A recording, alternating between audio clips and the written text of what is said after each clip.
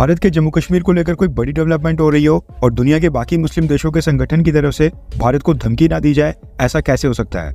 China की communist सरकार कल को अगर चाइना में सभी मस्जिदों को बंद करके ताला भी लगवा दे, लेकिन तब भी ये सारे मुस्लिम देश उसके ऊपर कोई भी टिप्पणी नहीं करेंगे। मगर भारत में पत्ता भी है तो इनको प्रॉब्लम होती है। हमेशा की तरह इस बार भी ऑर्गेनाइजेशन ऑफ़ इस्लामिक कॉपरेशन नाम के मुस्लिम संगठन ने जम्मू कश्मीर के इलेक्शन प्रोसेस पर टांग गड़ाई है। ऑर्गेनाइजेशन ऑफ़ इस्लामिक कॉपरेशन में दुनिया के सत्तावन मुस्लिम देश सदस्य हैं। और कहने को तो ये देश इस्लाम को प्रमोट करने और इस्लामिक देशों के राइट्स और इंटरेस्ट को प्रोटेक्ट करने के लिए ही इन्होंने मिलकर ये संगठन खड़ा किया है। लेकिन इनको बस पूरी दुनिया में भारत ही दिखाई देता है। चाइना नहीं रेफरेंस के लिए आपकी स्क्रीन के ऊपर आर्टिकल का स्क्रीनशॉट है। दरअसल ऑर्गेनाइजेशन ऑफ़ मुस्लिम कॉपरेशन ने एक ज्वाइंट कम्युनिके जारी किया है। इसमें ओआईसी ने जम्मू कश्मीर में हो रहे चुनावों का विरोध किया है और प्रधानमंत्री मोदी और भारत सरकार की कड़ी आलोचना की है। दरअसल ऑर्गेनाइजेशन ऑफ़ इस्लामिक कॉपरेशन की अमेरिका के न्यूयॉर्क में एक मीटिंग हुई है। जहाँ पर ओआईसी ने स्टेटमेंट जारी करके कहा है कि भारत ने जो इलीगली यानी कि अवैध तरीके से जम्मू कश्मीर के ऊपर कब्जा किया हुआ है, और फिर हम जो वहाँ पर ये चुनाव करवा रहे हैं, ये कश्मीर के लोगों के सेल्फ डिटर्मिनेशन के राइट को कभी रिप्लेस नहीं कर सकता है।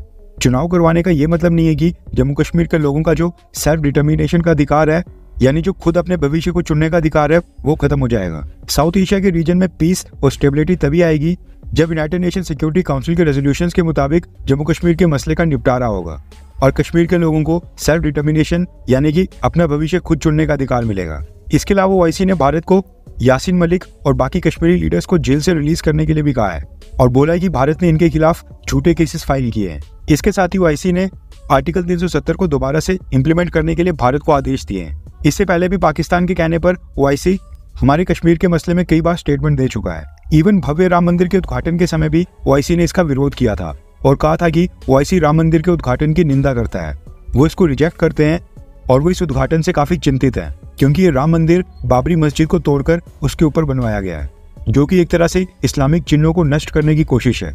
अब सेम चीज़ ओआईसी चाइना के साथ नहीं करता है, जबकि चाइना तो शिंजियांग प्रांत में वहाँ पर वीगर मुस्लिम्स के साथ ना जाने क्या क्या कर रहा है। वहाँ पर तो इवन मुस्लिम्स को वहाँ पर दाढ़ी तक रखने का अधिकार नहीं है, जबकि दाढ़ी का इस्लाम में काफ़ी बड़ा महत्व माना जाता है। और चाइना ने तो इवन कुरान का एक नया वर्जन भी वहाँ पर रिलीज़ किया है।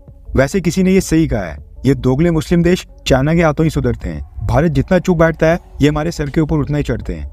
कतर, कुवैत, सऊदी अरब, ये जो कट्टर इस्लामिक देश हैं, इनकी तरफ़ से डायरेक्टली भारत को लेकर कोई भी स्टेटमेंट नहीं आती है।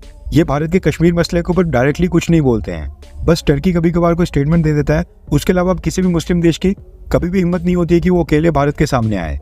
वन टू वन हमसे टक्कर ले। इसलिए सऊदी अरब, कतर, कुवैत जैसे कट्टर इस्लामिक देश ऑर्गेनाइजेशन ऑफ़ इस्लामिक कॉपरेशन के बैनर के पीछे छुपकर भारत के ऊपर अटैक करते हैं। भारत जिस तेज़ी से आर्थिक तौर के ऊपर अपने आप को मज़बूत कर रहा है आई होप कि वो स्पीड आगे भी बरकरार रहे। क्योंकि सच्चाई ये है कि जब तक हम चाइना की तरह एक बड़ी इकोनॉमी वाला देश नहीं बन जाते हैं, जब तक हमारी अर्थव्यवस्था 12 से 15 ट्रिलियन डॉलर्स को क्रॉस नहीं करती है, तब तक ये ऑर्गेनाइजेशन ऑफ़ इस्लामिक कॉपरेशन इसी तरह से भारत को भी टारगेट करते रहेंगे।